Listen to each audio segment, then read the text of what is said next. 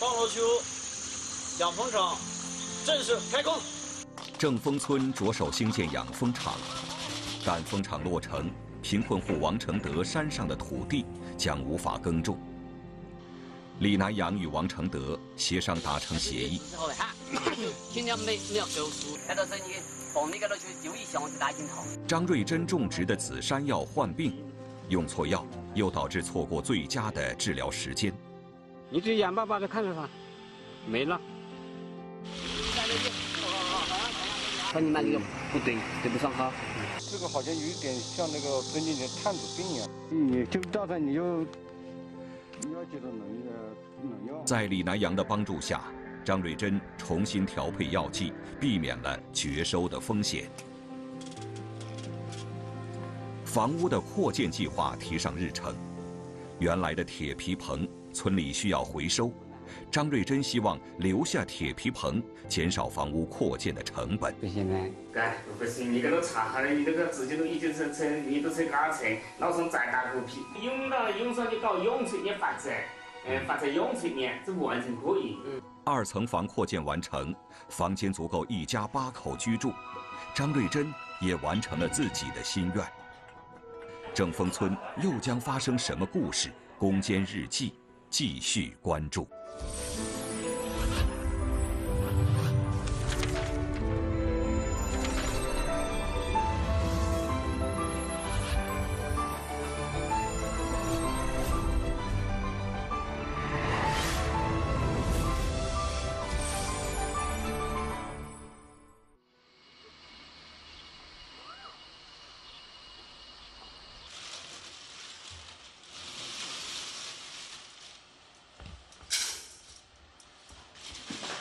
三百二十块钱一桶，差不多三年左右可以，差不多这样，差不多三年，那个三年不是很多。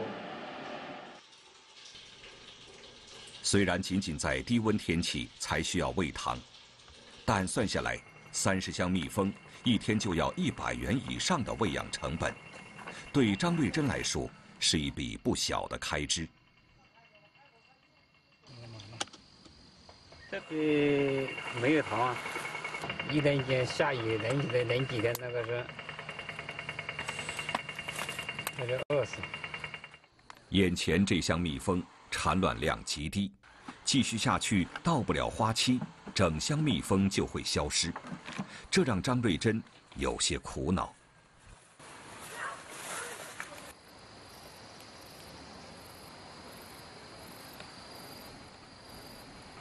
村里的蜂场被评为江西省内三星养蜂场，这也吸引了兴国县内的养蜂大户前来参观学习。除了免费的技术培训，同时为没有经验的蜂农提供蜜蜂寄养服务。但是标示了加多少皮加那上，通过这个呢一一看就看得出到底什么情况。小房盖是遮雨棚，就是用来遮雨的。张瑞珍也希望借此机会请教一下自家蜜蜂不产卵的问题。要是我再请教一下，我一般是用这几几个药：干种、金银花、半枝莲、甘草。由蜂场管理蜜蜂需要支付一定的管理费用。张瑞珍认为自己的养蜂技术已经成熟，没必要花钱把蜜蜂寄养在村里的蜂场。我我们这个很很内向，呃，他他养不是内向，是老实。一箱有一箱那个蜜蜂，搁了十多二十天都没产卵，搁了将近二十天都没有。在专家的帮助下，问题很快得到解决。张瑞珍平时只喂糖水，但蜜蜂幼卵的主要食物是花粉，没有投喂花粉，导致蜜蜂幼卵饿死，险些失去整箱蜜蜂。张瑞珍不等活动结束，就赶回来投喂花粉。嗯嗯，现在这样的天气都都很怕。这样的天气冷天肯定最冷，多养一点，挺有信心的。有了村里的养蜂场做定心丸，张瑞珍不再束手束脚，计划天气转暖，扩大养蜂规模到七十箱，这样一年下来就有五万元左右的收入。张瑞珍的房子扩建完成，根据村里政策，门前的土路可以由村里出资进行路面硬化，但前期的费用需要自己垫付。张瑞珍和邻居达成一致，两家平摊费用，完成路面硬化。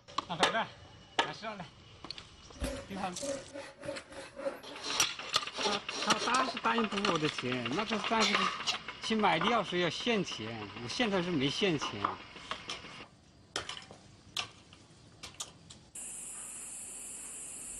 夜里，张瑞珍算了一笔账，完成眼前的路面硬化还需要四千多元。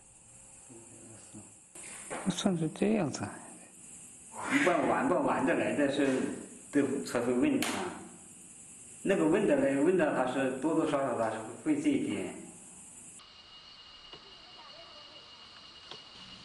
前期的基础工作已经完毕，如果再没有材料进来，邻居将要外出工作，路面硬化将不知要拖到什么时候，必须要尽快购进材料。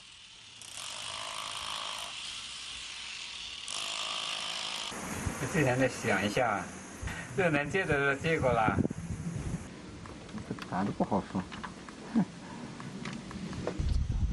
这个借钱有有一部分借钱是当面去问他借钱才好，有一部分打电话是可以的。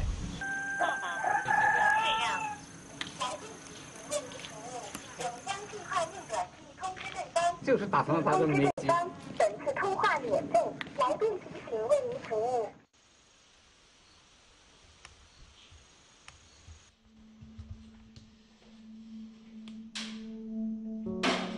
借钱的失败，让张瑞珍回忆起儿子生病的那段时光。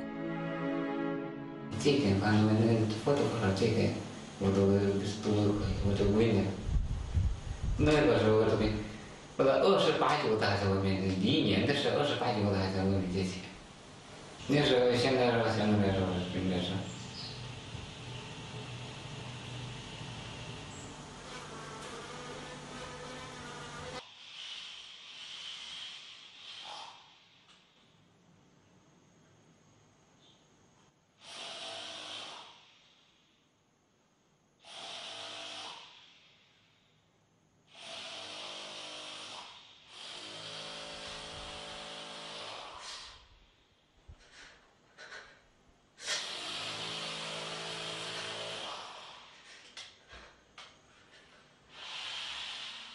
与过去不同，这次借钱除了心酸，还夹杂着更多对已故儿子的思念。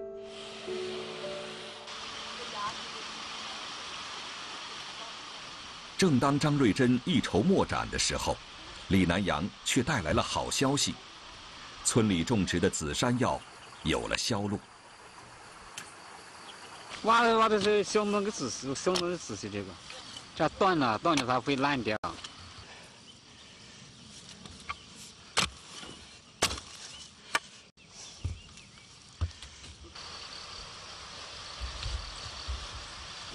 我这又不又没有很多点点，品相又太差，又又不知道他们会不会收收卖，不这卖得了卖不了，卖不了就完了。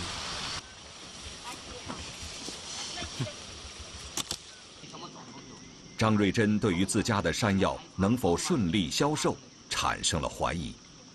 这个南京是这样的，嗯。南个是本来是这样的，万一个那压一个那个捂到这个给折了，做面条这些个，现在价位修。这个挺好的，你经过他选调整一下，但是自己吃好的还算不都不算。只要没烂的，全部给你收掉，都会收。就是果心不漂亮的也可以收掉，可以收掉啊。听说有客商要收购紫山药，肖匡福家要求李南阳将自家的红薯。一并收购。又要铲草，这个是你要施肥。你看这个这个股，这个股就就压黑，你引进的红这个坏色。啊，东西当然买得好，我来试一下，看引进还有没得牙有用的。还这个意思，还那么好的话，你说你清楚，出来你赚到来，俺就包回收，你就干的嘛，给你赚到来，俺包回收。要种俺就反对，俺把俺很凶心。看多多子，俺又好难消。李南阳因地制宜，推动薯类种植产业，给肖匡福家发放红薯苗。红薯成熟后，由李南阳负责回收，但肖匡福曲解了李南阳包回收的意思。红薯成熟后，又做成薯苗，种了两季，红薯产量一下超出了李南阳的预计。本来就不容易，大家都不容易，啊，那也容易啊，那也不容易吧？那他妈你还还不容易啊？按照原计划，李南阳准备依靠个人关系进行消费扶贫。测试产业是否可行的同时，贫困户也能有所收益。但萧匡福反复耕种，导致计划产量和实际产量差距过大，多产出的几千斤红薯销路成了问题。啊，一挖出来，所有的大大小小、好好坏坏全给我了。经过人家一挑选，四十斤人家是要的，两百二十斤人家都不要。那两百二十斤，我自己要去承受它。李南阳不能让客户吃亏，收下不合格的红薯，又不能将红薯退回，生怕打击到贫困户发展产业的热情。好了，怎么出发？终于到了收购山药的日子，李南阳马上通知村里的农户做好准备。哎，你个蛇子！我在我今天就找菜铺场撞上来，开着起点命干了嘞，还来修。刚才老师，刚才电视不上，他都关机了。哎，你给赶紧窗前不看哪里哪里落了的，你哪里秋脚饼干喽？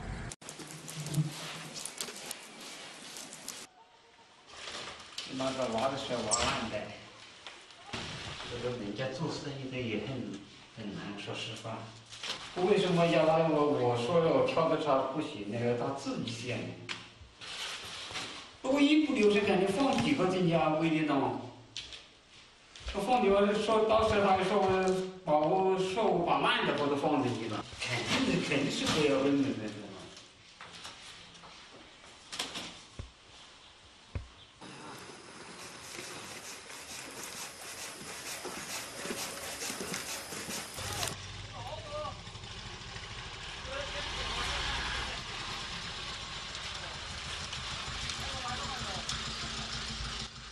张瑞珍家的山药收购十分顺利，客商非常满意。一个你几千斤的还才太你个少爷了。毛一点嘛嘞？那你是差一个，加那个毛一点。好好。咋了？为了搞他人呢？李姐姐，谁开谁？是斤，你是开钱啊？哪个你？那你还难啊？我这个男的牛牛。那这个你妈吧，那个有的还。那个男的，俺就我那我那个都为什么？我给外科给他了。我那个妈呢？你说一点毛烂了。来了，这个。你再搞，我到你。不要不要。哎呀。你要我说啥？你说，你看到后面你懂到了。玩不玩？发搞笑的，玩他的。紫山药亩产值五千元左右，如果勤于管理，甚至可以达到一万元左右。这让原本抱着观望态度的村民开始准备大力发展薯类种植产业。可以吗？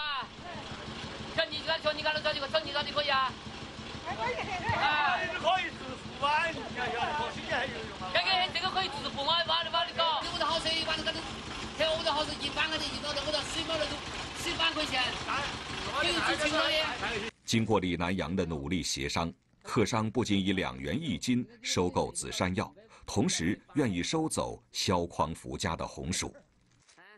反过一天他说卖哦，说了几次没来收哦。十号推十一号。人家收了是很高兴呗。那我心里意思，你再多活啊都要呃种着的，是吧？好，那就种着的，你看就不然你就种着的。好，不要眼在在。十年成功，十年成功，拜下地，哎，认真做，啊，可以可以可以。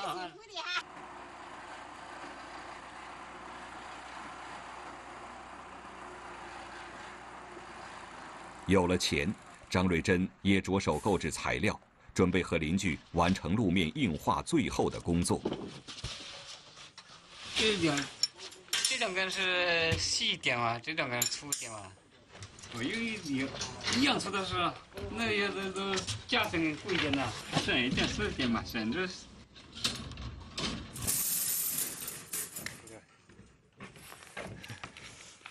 为了调动张瑞珍发展养鸡产业的积极性，李南阳送给张瑞珍五只鸡进行试养。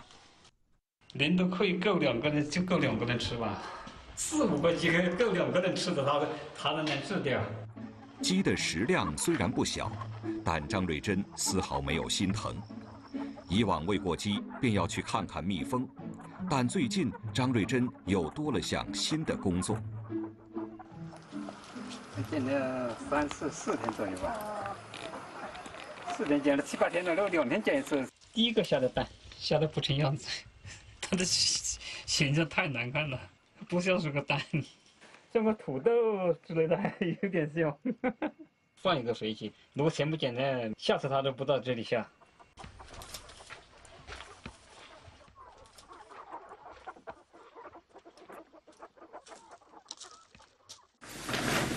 把吃完的时候再去磨一点，多吃一点呢，给你一百个好吃。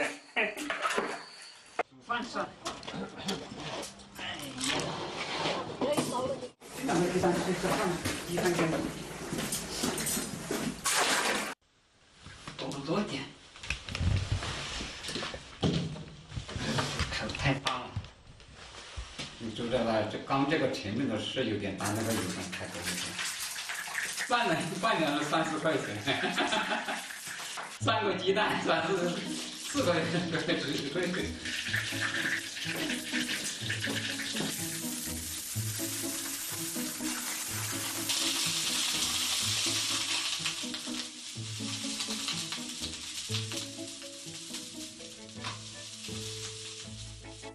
张瑞珍平时很少下厨，在热油里加水，更是险些烫伤自己。但看着做好的鸡蛋，张瑞珍比较满意。有点蒜苗，搞点蒜苗的时候还可以。炸油蛋，看不太怎么好看，实际上还是可以的。可能七八十分钟可能有。品尝着自家的鸡蛋，张瑞珍对发展养鸡产业也开始动心。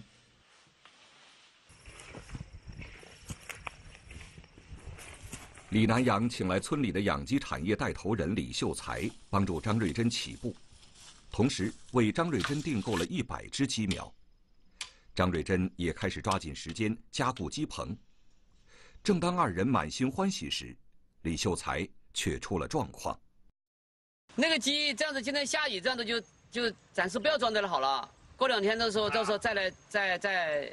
就是。是吧？我都，你刚才一挂电话，我都已经出发了嘞。过几天天气更好了再说，我要跟那个评估部要讲好了，让他看一下，我都要处理的，他这样他都不养。就是我就是这个这里养的最好的李秀才，他都讲不合算了，那个我还上面去还是推，不是。本来那个我现在讲的那个评估户，张瑞珍他就有点子抵触，他就不愿意养。不是你真的不要拿回来，不要拿拿着都是好麻烦。我就赶紧跟你说，哈，因为这个乡下。这消费力不强，鸡蛋很好，就靠我们这样的销还是有点点问题。打打打电话去！买了发个视频给我，我又退了给。哦，鸡巴，你还秀才是还是蛮能干哦，看。有鸡，当时呢都有三十斤一只了，它打起了，这样的它就打起了一层一层的这样的，这鸡飞在上面就在上面，不会踩。这种麻鸡。还有这个乌鸡，这个乌鸡生的蛋是绿壳蛋。这这里有，这里有，一它刚刚的还好热的，嗯，的蛋，外形不好看，要擦干净。这是绿壳，然后这段时间又要来给他买蛋了，他的蛋也这么多了，三七二一两百一，这里应该五六十个蛋可能有，这里。这个更大的这种，这个大的，这可能是鸡公，公鸡，公鸡长得快，说明它的这个产业链它它已经试成功了，不错，它还是蛮会动脑筋的。你看它这样，它上马。然后他一个人，他媳妇儿就是残疾人，一个一个礼拜就要我们一个礼拜就要买一条，一个礼拜，好吧？那我这这还要去洗菜呢。哦，啊，这哈。作为养鸡产业的带头人，李秀才放弃养鸡，会给村里的养殖户造成不小的影响。李南阳开始担心张瑞珍养鸡的积极性受到打击。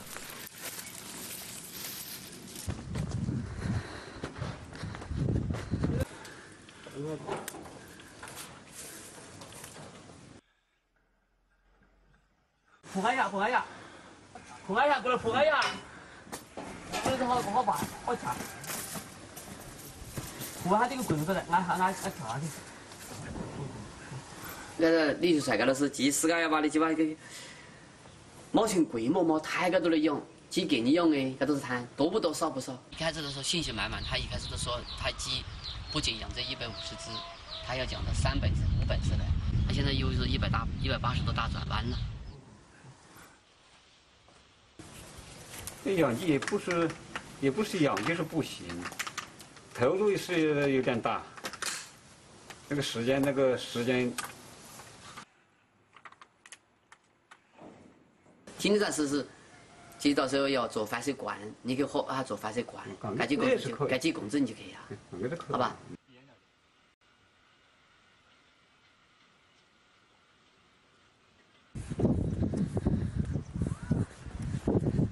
你晓得吗？管许多公安人员都上几多，俺都十几多哎，全部是你全部现在上梦想梦想的，俺都全部是现的，晓得吗？不要说这高的，哎。你应该晓得你还比一些人爱到你好，但是万一你调走的去的，哎，这个都是一都形成的路去的，形成的，俺调走的，如果都形成的规模去的，看到形成的俺那个东西，你自然就往上了，转过去，你形成始终就自然就自然就，那就快速就让你引路，让你壮胆。上上去买我也发不来，他们的鸡又养不好，呃，他们的鸡养不好，没有蛋下来，也没有用，像这样下去。李秀才认为，养鸡销路和成本都是问题，打工既省心又有钱挣。在李南阳的坚持劝说下，并且答应解决鸡蛋销路问题，李秀才收回了放弃养鸡的想法，愿意继续带头发展养鸡产业，并且主动承担了帮助张瑞珍照顾新鸡苗的任务。就是抱团取暖，啊，啊，众人拾柴火焰高，他个一团结起来。把这个事情做起，啊！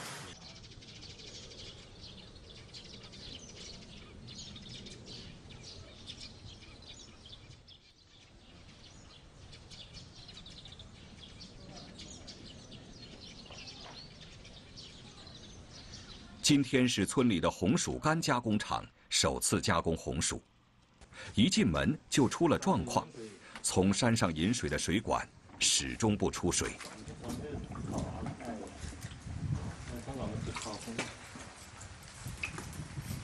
靠谱。来，来来，要说哪种你。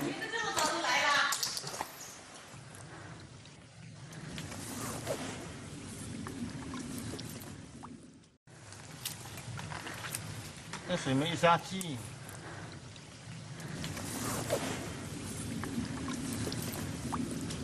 油吗？